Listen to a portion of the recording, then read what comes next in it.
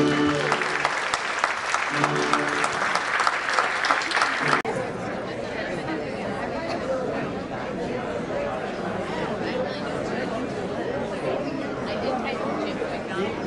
you, everybody.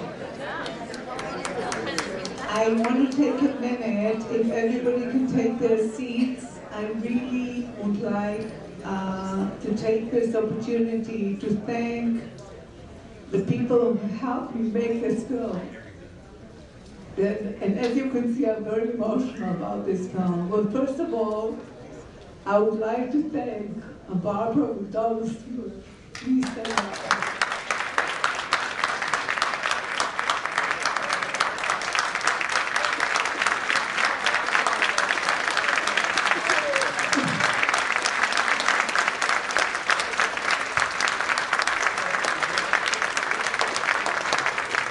Thank you. Yeah, Barbara stood with me day I talked to her until today. Every, she was along, supportive in every way, all the way, up until now. The second person I would really like to thank is Mildred Wiseman. Mildred, can you stand up, please? Mildred Wiseman was, I met in 1979. Uh, she was the, one of the leaders of U.S. Israel Women to Women who supported feminist women filmmakers. And Mildred Wiseman has supported me since 1979. Thank you, Mildred. She was a, a, a wonderful supporter for this film and really helped us complete that. The next person, the next people I would like to thank is Cynthia Barrett. Cynthia, where are you? Here she is. Cynthia Barrett is McDonald's granddaughter. And Cynthia, and Cynthia put me in touch with Barbara McDonald Stewart. It took a whole year, and I had to send some of my other films so they could see what I do. But it, they came through, and uh, and that's how we were able to make the film. Thank you, Cynthia. Vale Barrett, where are you? Vale Barrett.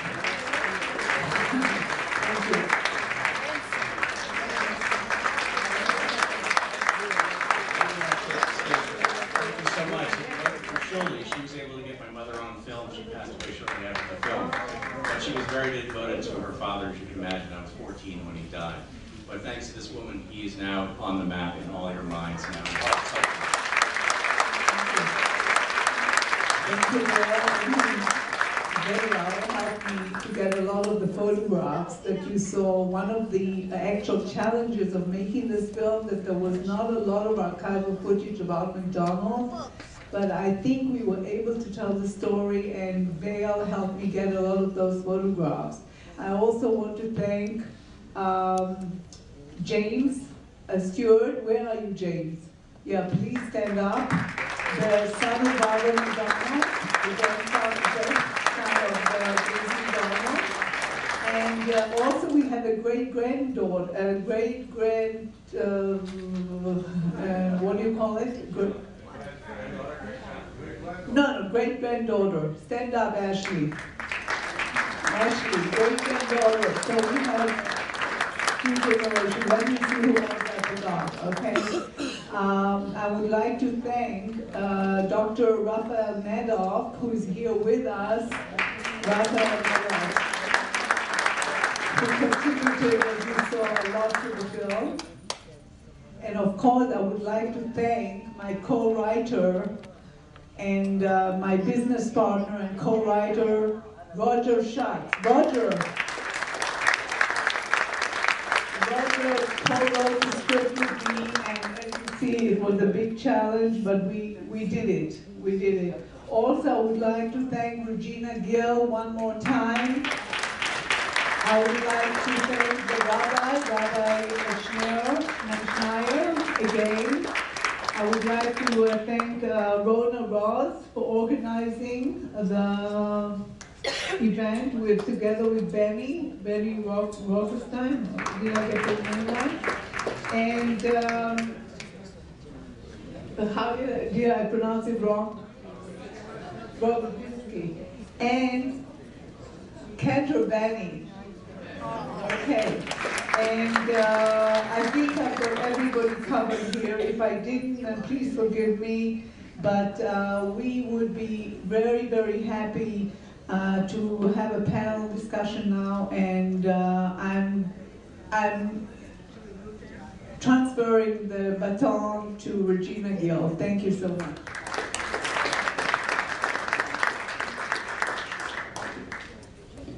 This is going to be open to you. If you have questions, we're going to ask you to feel free to ask those questions of Dr. McDonald Stewart, of Shuli Eshel, of Dr. Rafael Medoff.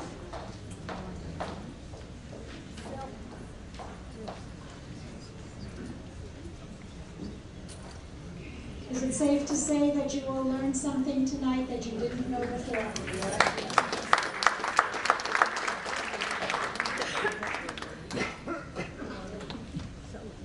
By the way, just as an aside, um, we do have those DVDs.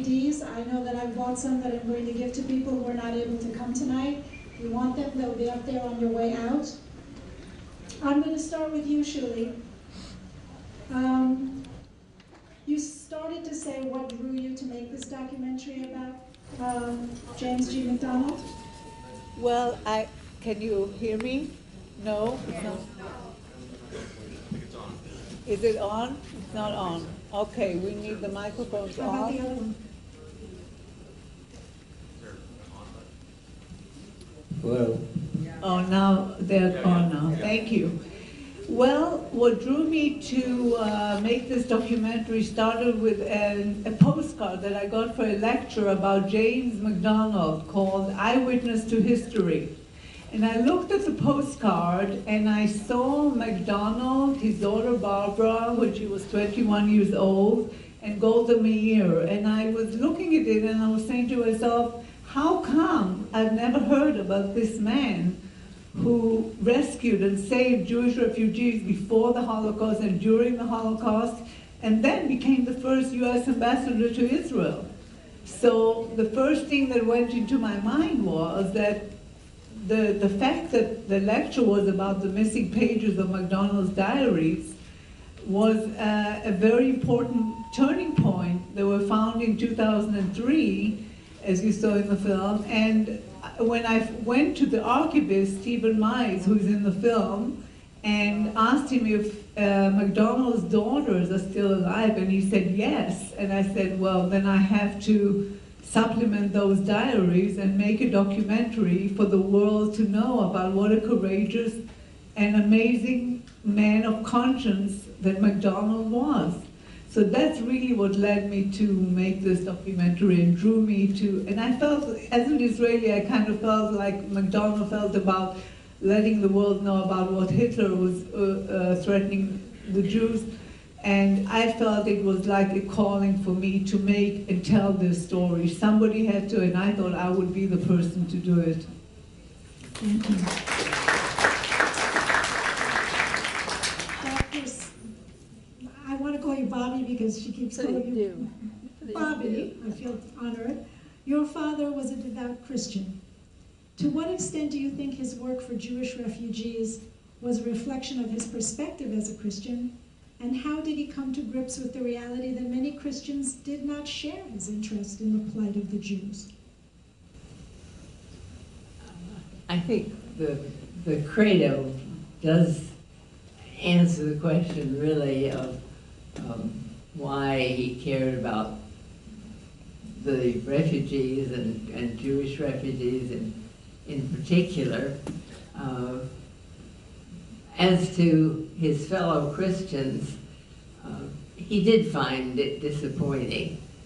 And he accepted it as a, a fact. Uh, anti-Semitism was rife in the 1930s. Uh, people who were involved with the Depression and other interests.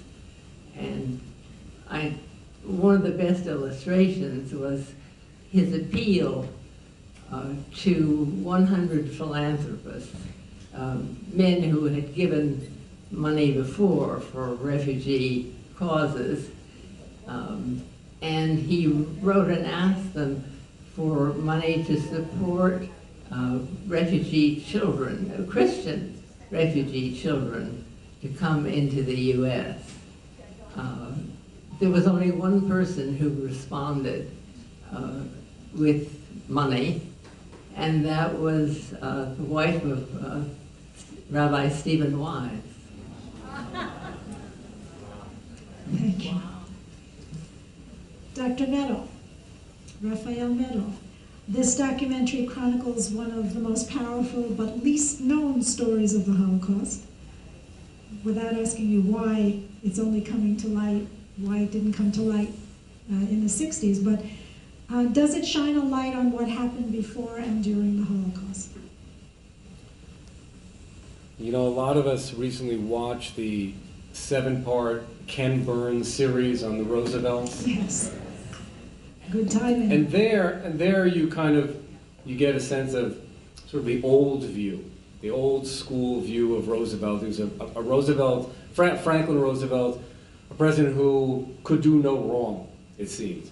And the whole issue of the, the plight of the Jewish refugees in the Holocaust was kind of breezed over in, the, in those, seven, uh, those seven episodes.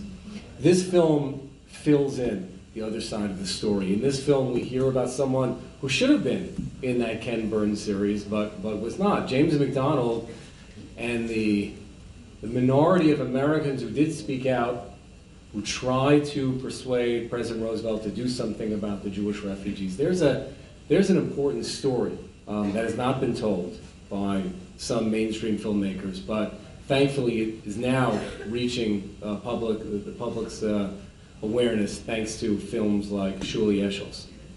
Thank you.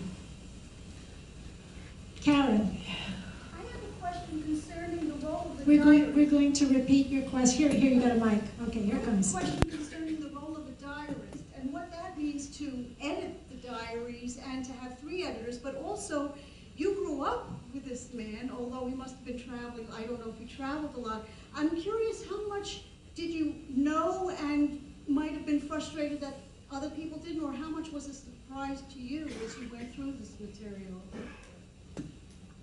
I guess the surprising thing to me, uh, when I typed it initially to put it on disk from uh, the uh, typed pages, uh, was how often he wasn't home.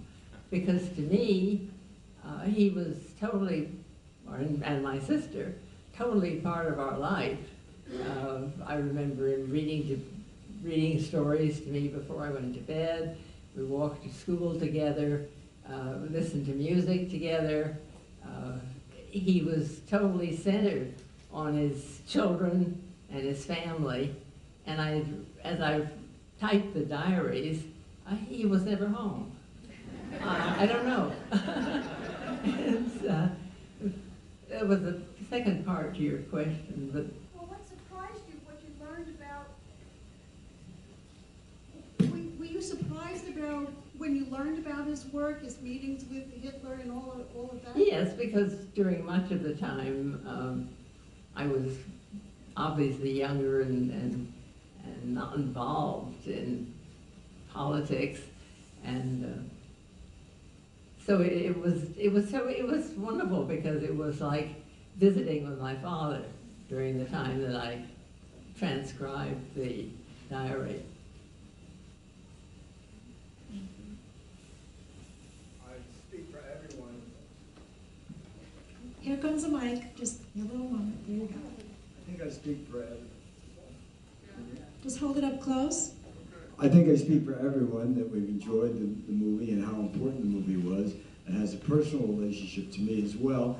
I live in that town that's just north of Tel Aviv called Netanya, and that is my rabbi. And I knew the other woman speaking. I go to that shul, so I know it very well, and I know Rahul McDonald very well. Uh, two quick questions. One is, when was the film made? And secondly, what are your plans for distribution of the film? It has not been shown in the, in the shul, to the best of my knowledge. This is, this is the world premiere.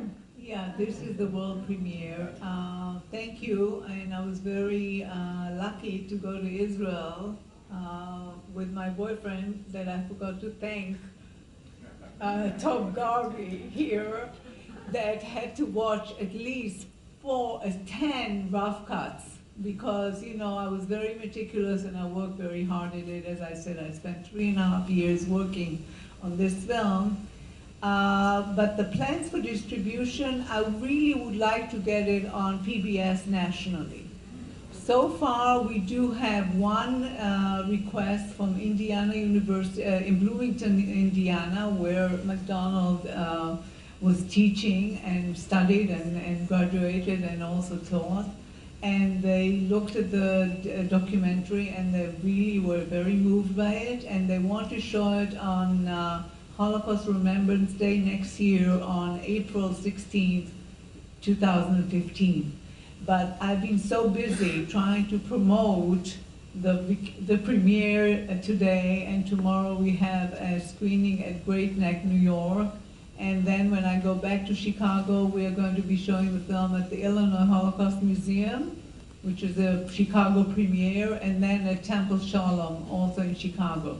After that, I will put all my time and effort to get this to the public.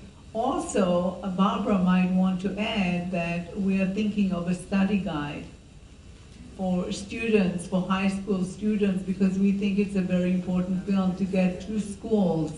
And uh, we will be raising a little bit of funds to do that, more funds, and um, and, and we hope to get it to all the public schools and high schools. Yes. Over there? Want to stand up, please? a wonderful film, and um, I think I can also help you with, with its future. But the reason for the question, Barbara, could you tell us anything about life that you or your family remember in Israel with your father in the years 1948 until 51 when he left? Well, that's a great question. I remember lots of things, and it, it was exciting and uh, a totally new experience. As a uh, college graduate, I did not learn anything about running a household. Uh, so, uh, running a household with a, a cook that spoke Russian and Hebrew, neither of which I spoke. Her, hus- her husband, the gardener, spoke some German, and uh, there was also the, the uh, gal that helped do the cleaning and serving, and she um, spoke French. So uh, somehow it, it all worked out, and uh, we all, all survived because it was, um, many people came to visit, and, but it was, a, what I remember most, I think, is the, the casual uh, getting together for dinner, whether it was with Ben Gurion or Sharett or Kaplan or any of the leaders. It was uh, not so much political discussion, but they often discussed uh, biblical references. Uh, did Jesus speak Aramaic or what? They were more interested in, in that kind of topic than rather than the politics of things. And uh, people were, the Sharetts actually lived next door. And uh, when I didn't have enough napkins, things hadn't come from the U.S., I went over and borrowed some napkins from Mrs. Sharett. But none the fortunate part was that people didn't depend upon the protocolaire uh, attitude. Uh, you had a much more personal relationship with people, and and that was wonderful. And to be able to meet even all the U.S. visitors that came, and they'd always come to the uh, the house and uh, either have tea or there was dinner. Or, and it was exciting to meet meet all the people that were so, at that point, dedicated, heart and soul, to make uh, Israel work. I would like to follow this up with a little question. How did that influence your life as, as a woman? Uh, You know, being the official hostess of the U.S. Embassy at the age of 21, and then how did that influence the rest of your life? I don't know, one goes back to normal, and that's it. No, but you went and studied history. Was that Oh, well, I'd, I'd always liked history. Uh, I had to decide whether I wanted to get history or, or go to law school. But law school for women was a little difficult, I think, at that time, but I figured if I wanted to get married, which I did, wanted children, which I wanted, um, teaching was probably a better profession than law. Okay. Oh, there's one over here, one wonderful, yes. And she's down? She's been waiting for this. Can you hear me? Yes. This is not a question, it's a little, little bit, this is a personal question for my earlier years. In the nineteen thirties, about nineteen thirty-eight, I was a student in high school, and I was on the school newspaper, Thomas Jefferson High School. The newspaper was the Liberty Bell. I was on the staff, but I was, did not have the assignment to interview Mr. McDonald. And the first I heard of him was a glowing report by the girl who interviewed him, who said what a wonderful man he is, and she was just thrilled. She also didn't, I don't remember whether she mentioned that he was handsome or not. That, but, and that was the first I heard of Mr. McDonald. And I sort of followed his career. And then when I heard that he, the, uh, this dedication would be for him, I went to my records, I went to my old Liberty Bell and I found a paper in nineteen thirty-nine where he addressed the graduating class of Thomas Jefferson High School. And I found the paper and I presented it to Miss, to Gilmore. Thank you very much.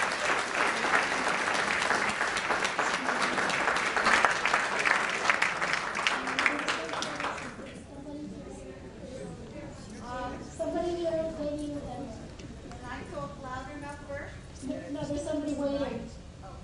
Just, yeah, one more, quickly. wanted to ask Barbara what that, do you remember whether your father ever reminisced and expressed frustration about his efforts not being heeded at all? Not really. Um, my father, I think, was basically an, an optimist, and he, as a teacher, believed that people could learn, that people could improve, and it was worth trying to help them. And if it didn't succeed, not everybody's going to take to whatever you're trying to, to teach or to help. And uh, I, I don't think he was really discouraged. Well, I, I, when reading his diaries, I felt that he was discouraged sometimes. Oh, And, there were times, yeah, yeah. Yeah, I mean, you know, you have very, he kept very meticulous diaries and all his conversation with everyone. And it came through to me that he was frustrated, but he was very diplomatic and very um, patient. And but he did. He was relentless. He went and he he tried everything he could, and met again and again and again. No wonder he was not at home a lot. you know, because you could when you read his diaries, and I tried to get to give that sense in the film that he was continuously continuously trying to alert, to warn the world, to try to do something before it was not too late. He did everything he could, but obviously we know what happened. And uh, maybe uh, uh, Dr. Medoff would like to add something about what did your uh, experience of his patience and dealing with frustration? When I looked at uh, James McDonald's papers at Columbia University, I was particularly looking at the later years, the 1940s. A lot of the film had to do, of course, with the 1930s and the, the German Jewish refugee crisis. But in tracing his efforts all the way through into the 1940s, one of the things I noticed was that in the later years, he became more openly critical of the American government's response and the Allied response to the Holocaust. And I, I, my sense was that it was a kind of an accumulation of frustration that he tried so hard in the 30s and generally had not succeeded, and now he was, he was watching the horror of the mass murder of the Jews unfold um, before the eyes of the world, and still so little was being done to help them. There was a question back there, yep. Uh, I'm a synagogue member of Park East, and I'm thrilled that you chose Park East to premiere your movie. Um, I recently saw a documentary about uh, uh, Secretary Morgenthau and his family, and I remember his frustration in dealing with President Roosevelt. But I also think I saw a short clip um, of President Hoover after he retired from the presidency. Um, he went to Germany and he was also struck by Hitler's determination to annihilate uh, the Jewish population. Was there any mention of uh, contact with Hoover uh, in the diaries? Mm, There was this, actually a couple of times, um, McDonald suggested Hoover, uh, when they were looking for someone uh, to work on a committee. Um, But other than that, I don't think there was any, any reference. There's a microphone right there. Uh, Two questions. First of all, how long did the meeting with Hitler last and what language did they speak? And secondly, Barbara, have you been back to Israel? Uh, First question, I believe it was, was German, but my father understood enough. He wasn't really, it may have been uh, translated. I'm not, I'm not absolutely sure what, what language uh, it was. Um, But, um, well, I'm, I'm really not sure. I shouldn't answer the, the question. Uh, As to going back to Israel, yes, I went back uh, four years ago.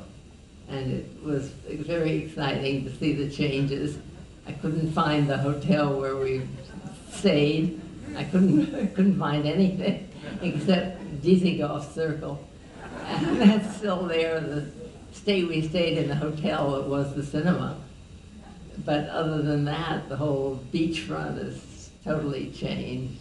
And all the cities that have grown up and the great, the highways, and it's amazing.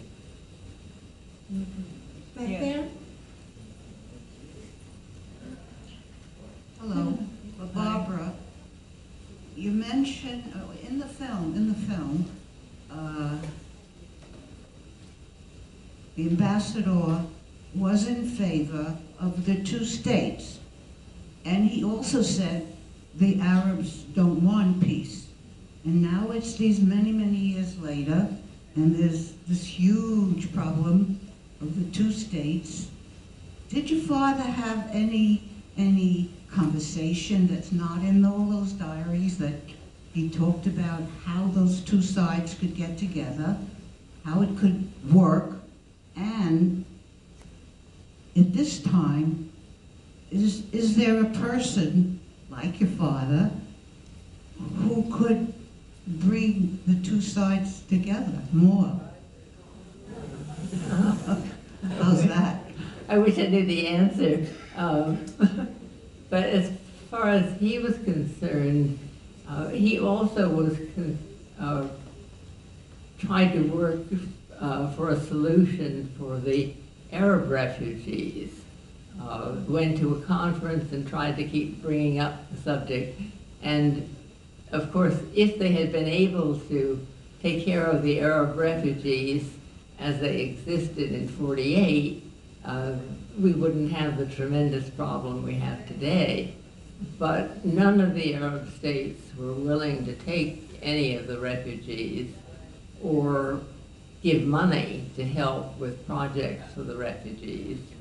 And uh, Israel said we have to uh, have peace before we can discuss what happens to the refugees. So that he, he really wor- tried to see what could be done, but uh, he really thought that unless you work together, unless, uh, unless the Arab states and, and Israel complemented each other uh, and were willing to accept each other, uh, it was the only way that you would have peace in the Middle East. But hasn't happened yet.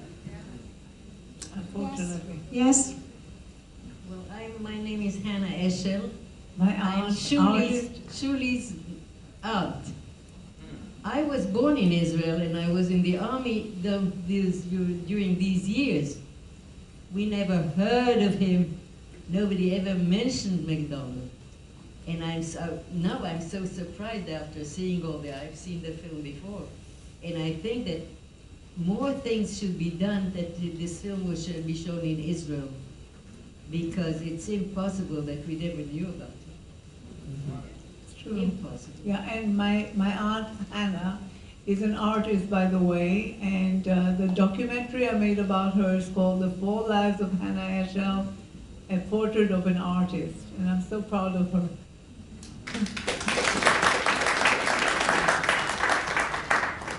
Last question? Back there? Oh, yeah. Not a question, but to what was just said, we don't read about McDonald in American history books either. Yeah, I think McDonald fell in between the cracks, and that's why I'm so grateful that this woman, uh, Mrs. Ketchum, found the missing pages, and the the U.S. Holocaust Museum tracked uh, Barbara and Janet, Janet Barrett and Barbara McDonald, and then Barbara had most of the other pages, and that they published it. But I would like Barbara McDonald to say a few words about the third diaries of McDonald that are coming out at the end of November. Uh, the diaries of the third volume uh, deals with the Anglo-American Committee of Inquiry, and it deals with the problem of the DPs after the war. And you saw some of the footage of that the, in the film. And it deals with the uh, relationship between the British and the Americans, uh, which led into uh, the question of, of Truman and his support of the committee. And McDonald's convincing him that uh, he should not support the Morrison Grady plan. But that volume, uh, I want to also, well, I should say first that um, the fourth volume is in the works. And the fourth volume is the time that, that McDonald was in Israel. And that will be out in another couple of years. It's part, it's about halfway finished now. Um, But I do want to make the point that Shuli has brought up and before, and that is that uh, the diaries are wonderful to read, uh, to me, and really interesting to someone who doesn't know McDonald or that much about it, if you can carry through day by day and realize how these things were arranged and, and what went into it, and you get involved in what was reality and what was reality without knowing what was going to happen. So it was, there's a, a tension and excitement, but uh, there are not that many people that are going to read the diaries. Uh, the diaries for volume one is, I don't know, 700 pages. The diary, next one is smaller, but uh, it takes dedication. And Shuli's idea was that a film is so much easier for the layman to understand, or for children of a certain age to understand. It's so much more accessible, and that this is the way you could bring uh, the whole situation, McDonald's legacy, uh, to many more people by doing it through the film. And then hopefully, if they see the film and are interested, maybe some people will read the books. Well, thank you so much, ladies and gentlemen, for coming, and thank you to our distinguished guests.